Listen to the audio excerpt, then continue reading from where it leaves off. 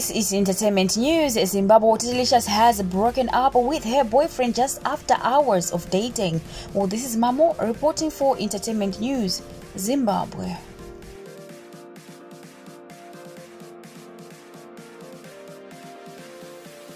Well, alright, Tatelicious took to social media platform and posted this. Well, she said, I am not ready for any relationship. The trauma I went through in South Africa is still haunting me badly. Sorry, Nigeria, give me time. Well, that is a Tatelicious right there, making it clear that she is not yet ready to be in any relationship. Well, alright. Well, alright, before I go, I just want to say I do agree with the Tatelicious on this one because isn't she staying at a refugee camp somewhere in Europe, uh, seeking asylum somewhere in Europe? Because she is not in Sweden. So, I mean, someone in her situation and position, I think relationship should be the last thing in her mind. Anyway, this has been Entertainment News. See you next time. Goodbye.